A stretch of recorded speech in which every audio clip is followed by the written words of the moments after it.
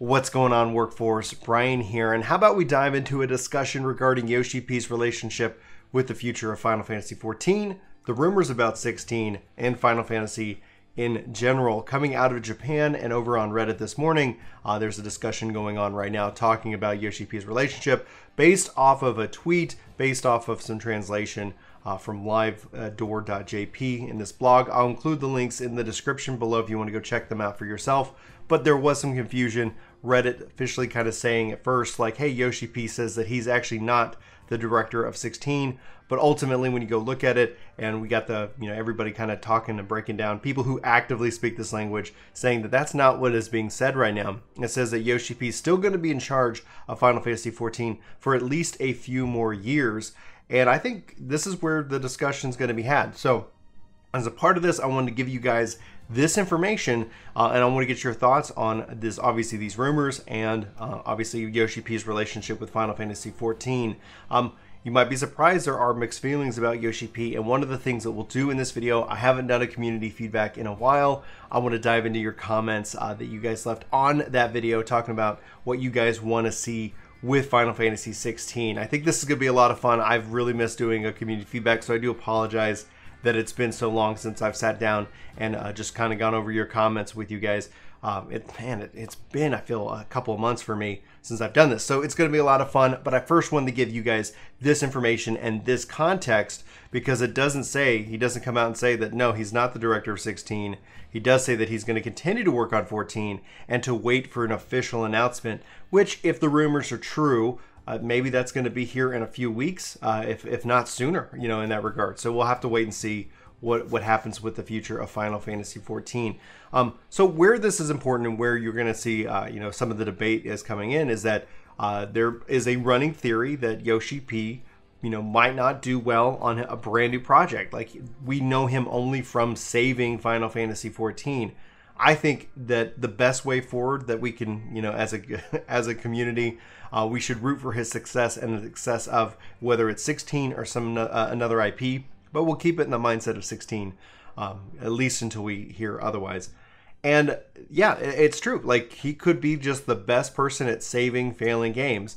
But I think if nothing else, with his work and what he did for Final Fantasy XIV, uh, we owe him the hope and the the well wishes that he could successfully create a brand new game from the ground up, lead it into completion, which is no easy task. I know we love to play games, and I know it's uh, it's it's fun and awesome when they're great, and when they suck, it always you know it's never any fun. And people are like, oh, if they only did X, but to take a game from nothing and to I mean hell to take a game from failing and bring it all the way back, you know, it's like it. This is hard work, and so with Yoshi P, whether he is or is not. Uh, the full-time director of Final Fantasy 16, and whatever that is, whether it's an MMO or single-player game, uh, I'm definitely rooting for his success. I think uh, that would ultimately benefit uh, Final Fantasy fans all around the world. However, uh, let's go ahead and dive into your comments because there are some thoughts and there's some feelings regarding this. And Metal uh, Militia here starts off with Yoshi P is the best part of this rumor. And Michael, if you guys don't know Michael, hey Michael, I don't know if you're watching, uh, says not so sure about that. And there's a context to this is that, uh, you know, when Michael goes on saying that he didn't enjoy Stormblood and Heaven Heavensward was the pinnacle of Final Fantasy 14 you know what? Like, it's perfectly fine to have, you know, positive and negative feelings about any particular expansion uh, overall the life of Final Fantasy 14. But again, I think that uh, shouldn't really all chalk that up to it because what's interesting about Michael's comment here is hands down, if Heavensward was the pinnacle of Final Fantasy XIV. well, what happened? What was going on around Stormblood? What was going on around, like, uh, you know, Shadowbringers? Well, that's all when this new project started back in 2016. And we, um, you guys, if you haven't seen the artwork here, it's just so incredible. Finally found another high quality version of it, so I made sure I saved that to my desktop background so I can see it on the daily. So just kind of keep in mind that obviously Yoshi P is still a human being, and he says that unless he gets sick or just randomly killed, you know, that's what he says, at least according to Google Translate. Uh, again, links will be in the description below uh, like right down in here. Yeah, it was just it was kind of crazy. Um, you guys can go read that for yourself. But like, unless that happens, like he really has a passion for Final Fantasy 14. And if 16 happens to be an MMORPG, an online RPG, uh, that could end up being something that continues to carry this forward. Now, what does that mean for 14?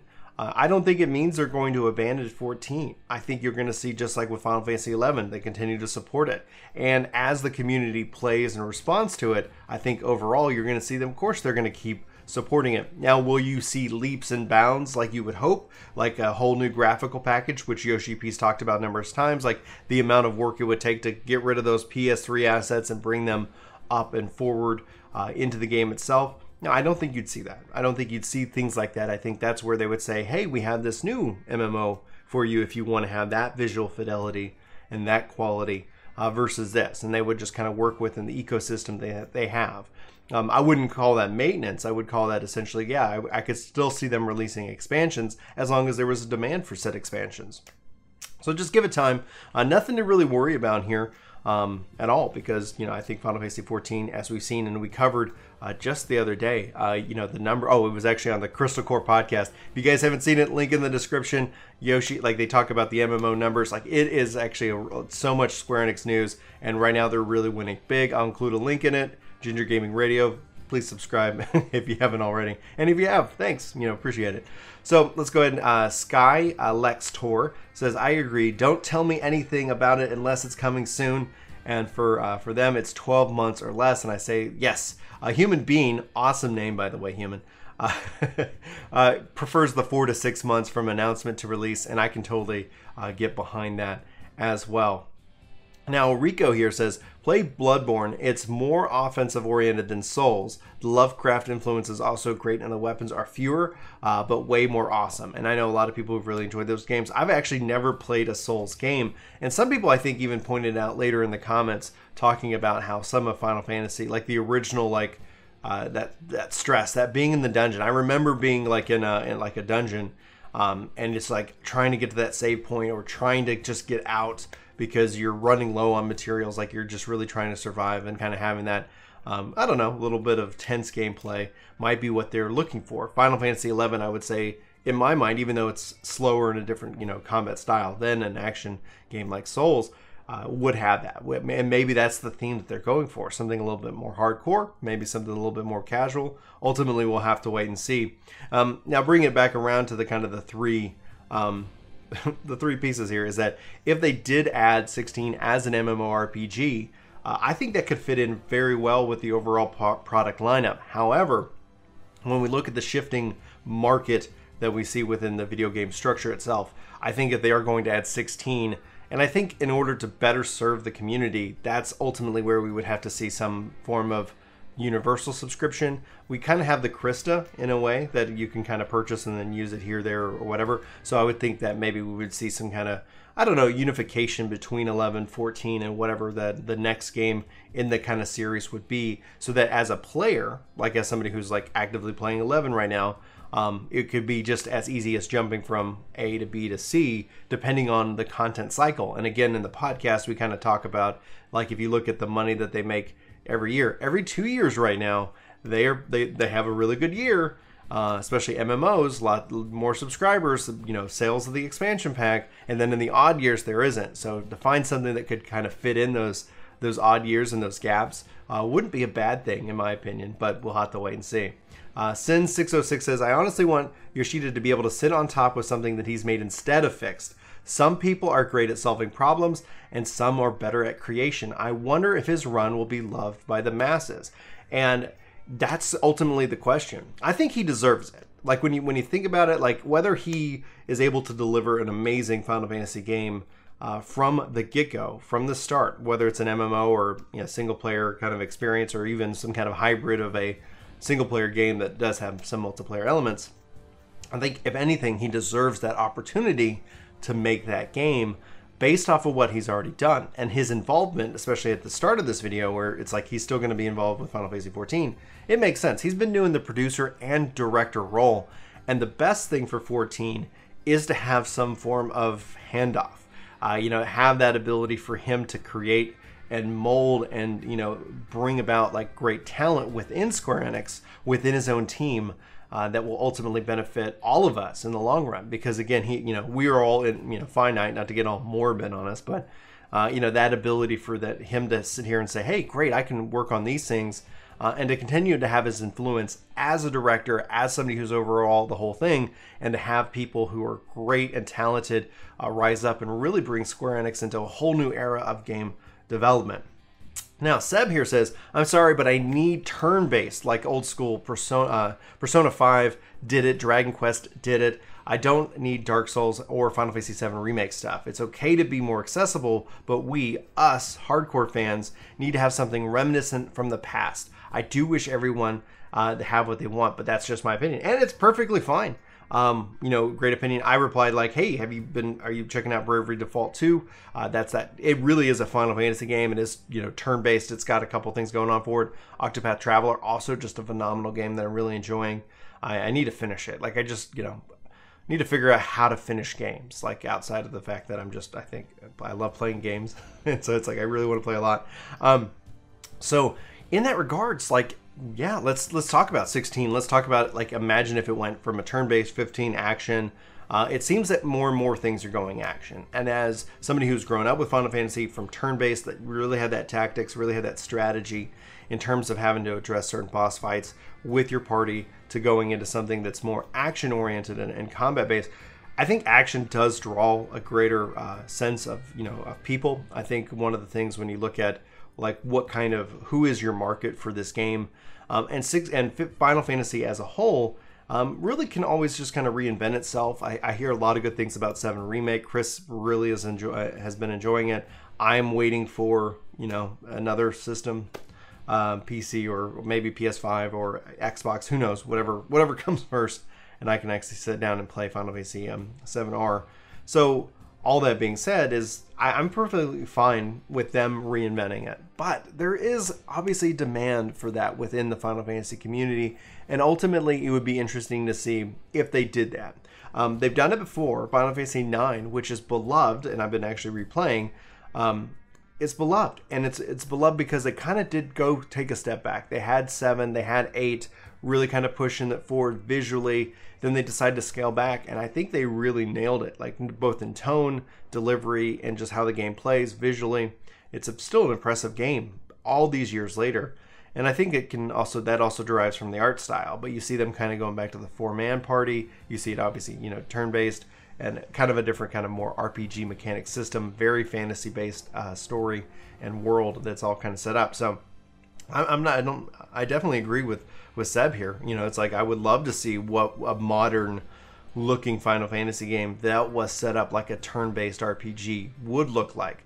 I don't know if that would be a mainline game now because again, it's like there's just a lot of work. They're always trying to push the bubble and change it up. However, at some point where you're like action, action, action, you know, changing it up could be a turn-based, or they could always do something like that. But if it is an uh, if it is an MMO, I would I wouldn't uh, expect them to have it as an as a turn-based MMO, but you never know. Um, Fat Nerd says tactics tactics is the correct answer. Well done, Brian. Thank you. I've been actually playing it on BlueStacks recently, and it's pretty easy and to set up. I was surprised uh, ultimately by how convenient and easy that is. So I know I rail on mobile games, uh, and just for the fact that they're they're isolated to the device and I tried to, I, you know, I downloaded because I, I purchased it through the Android, which I hadn't before, so I, I own it now. And then I have an Android phone device um, that I use for testing, and it does my saves aren't there, and that's where I was like, ugh, I need this back in my life, whether it's on Xbox or on some kind of cloud service, like that literally needs to be um, the thing. Now, since uh, 606 says Brian name dropped and picked my favorite, pressed how cool I said it. completely ruined any cool cred with the, my response there. Uh, Death Monkey says, "Can't wait to learn about this new IP address." Uh, yeah. oh, it's so fun when the way I miss say things. Uh, yes, uh, like uh, Bad Day. If you can't handle the announcements teasing you, it's safe to say you're a hard fanboy. If you don't know what I'm talking about right there, you did not make it far enough into the video.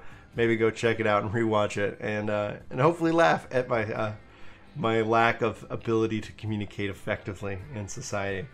Uh, Bree Jordan says, "Cannot wait. I hope it's not Dark Souls though." Uh, but thanks for the news. And then Kung Fu follows that up. I'm kind of with you on that. I got DS vibes from the Cloud Swordplay Final Fantasy VII R, and I loved it. I love those comments because they are amazing. Thank you guys for your comments. And Bree's just such a wonderful person. We've gotten to know each other through a couple comments. So hi, Bree. I don't know if you're watching this, but uh, your name's awesome. She has the same name as uh, my as my niece. That doesn't make her awesome just because of that relationship. It just makes her uh, unique in my experience. Anyway. Um, so yeah, we don't obviously know. Like these are all rumors and speculation. The the thing that threw me off was steampunk because again, like this is what has been shown on the site. Like if anything, who knows what this will ultimately be? But it could be. This could be something like the world that was a fantasy that eventually evolved into a steampunk kind of world. We don't know. And honestly, I'm all for finding out uh, more and more. And then uh, Andrew just saw my upload on the video. Thanks. That's talking about obviously what's going on in our world. More of a vlog. We're going to keep this video focusing in on um, just games, just something a way we can escape and hopefully have a good laugh. Uh, Joel follows up tactics and six. Ha, the best. Sounds like good news though. And uh, Fat Nerd actually thinks those are his top two as well. And uh, only the facts here. My top is tactics though. Uh, Final Fantasy XIV has its moments, guys. Like honestly, there have been moments in the stories. Shadowbringers is uh, is there. Uh, I think Heavensward is there for me, where it definitely falls like in my top two. Like I think with Shadowbringers in the story, it definitely was there. Uh, the, my list is a little fluid, and one of the things and the reason why uh, on the podcast, uh, which you should totally check out, plug again. Um, I, I'm talking about why I think it's important for me to replay the Final Fantasy games, especially when it's been decades since I've played them uh, is to experience them as an adult to see if my reaction to these games um, are different now that I'm in a different place in life. Now that I have kids, now that um, there's all this other stuff going on in the world. Like, do I read these games differently? Do I experience these moments that I remember or think I remember? I think Final Fantasy IX is the reason, especially that it, the fact it's on Game Pass was like, oh my gosh, like I think I remember this game, but it, in reality, like I, I, remember the feeling of the game. Like I remember the ca- characters. I remember some of the beats, but I don't really remember the game. And so it's important, especially if I'm going to sit here and um, I, I don't know. I just think just like a good book, like you go back and you should go back and read it. Probably not every year. I don't have that kind of time, um, but we'll have to go out for that. Uh, Feral Forever says, "Watch out! Dark Souls is uh, the Final Fantasy of the Super Mario Brothers series." Man, I need some coffee to wake up. I'm gonna say, love that one. Um, uh, call yourself a pretty, uh, pretty uh, boy, fanboy, or honest fanboy, and that's just in regards to me uh, saying hard fanboy in that regards. Uh, Lukey says, "Oh, you like Final Fantasy Tactics, Brian? Uh, do you like 12? Tactics is actually supposed to be in the same universe as 12. 12 is great. Actually, I really, really love 12. When 12 came out." Uh, I was working. I had my own like apartment. This is before I met my wife, and I'd get off work, I'd go pick up some Chick Fil A because it was right next door. I think this is where I gained. I, I think I probably put on like 20 pounds by playing through 12 because it's like off work. Oh, Chick Fil A. I don't feel like cooking tonight. Uh, not the best choices, guys. Like it's delicious food, but not the like obviously the best. I'm not surprised that I gained weight. Um, and then I would go play uh, play through 12. Just like though, like typical Final Fantasy games for me, I played through 12, took a big break, came back a year later, and uh, and ended up finishing it and really enjoyed it. And so I think it's coming to Game Pass. I actually do own it on uh, on PC and was playing through it. And if it does come to Game Pass, because then I could you know just it's more that I can play in different areas. And as soon as it comes to like XCloud, boom, I'm there and ready for more. Now we'll wrap up with this. And actually, there's two comments here I want to wrap up with because one's kind of an update, keep everybody up to date on what my status is. Uh, Frank says, any news on Final Fantasy 14 for Xbox? None. In the sense that we know it's coming. Yoshi P has commented on, you know, good working relationship with Phil, but they haven't announced whether it's coming, you know, tomorrow, this year, Series X, in a year's time. And uh, we do, you know, know that it's been running on Xbox internally at Square Enix, which is great because that, you know, that's awesome. Um, we don't know. Uh, we, the last update was that Yoshi P said that he doesn't see that it's going to be integrated with Game Pass uh, namely because of the subscription model of 14. Um, but we're seeing Game Pass offer perks and things like that. So we don't have a date, but as soon as we do, I will probably cry into the mic and camera, and I do apologize if you guys watch that video. the first one, there's tears. There'll probably be tears when we have a date, or at least when I can actually install and play it. It's going to be a little surreal, and I think it's those moments that you kind of work hard for that you get that uh, that end up being the best. So Uh, Gabriel, a great name, the name of one of my kids, uh, says you can uh, can you post a, an update warrior controller guide and a dancer controller guide for Final Fantasy 14? I'm very lost about those classes. And right now I'm playing 11 and I'm almost 99 blue. I'm, I hit 90 on blue mage, and that's where I'm really finding a lot of fun and joy. Uh, my plan is to hit Final Fantasy 14 really, really hard uh, here as soon as we get a date for 5.3. If 5-3 is going to, let's say, be in July, start of July, middle July, hopefully not the end of July, but whatever that date ends up being, uh, that's going to be kind of I'm going to set a couple weeks before that date to come you know back and hit Final Fantasy 14 real hard uh, so that way I can you know have, make the most out of it um, and get and, and try to finish off these uh, these classes, these jobs, and the controller guides. So I will actually get. I decided that I'm going to go and release kind of an intro to Dancer, just like here's Dancer at 60, here's the layout. I put a lot of time into it, and, and then I pretty much I put out a poll. I was like, hey, did you like the intro to Gunbreaker? Everybody's like, no, just go and level to 80. And it's like honestly, it's going to be a while until I hit Dancer. I'm gonna finish Gunbreaker. I'm gonna go uh, do Black Mage. Then I'm gonna do Warrior. So that will finish off my tanks, that will finish off my casters, and I've already that will have all the healers done. And then it's just going to be a matter of the range DPS and the melee DPS, which I already have machinist, so it would be Bard and Dancer, uh, and then obviously all the all the melees. And so um, not all, I did Samurai. I guess I, I'm getting close. uh, and so I'm gonna hopefully try to hit that, get those things knocked out. Uh, over the summer because we have a couple you know games coming out this fall that I want to spend some time with and play and more. So just kind of um, as an update, I know uh, several people ask about controller guides. Uh, and they take a lot of work, and so uh, I really enjoy putting in that effort and work. But also at the same time, I've really enjoyed playing Final Fantasy XI. Minecraft Dungeons has been phenomenal. Phantasy Star Online 2 has been phenomenal. And just a question of if you guys made it this far in the video that I'd love to know.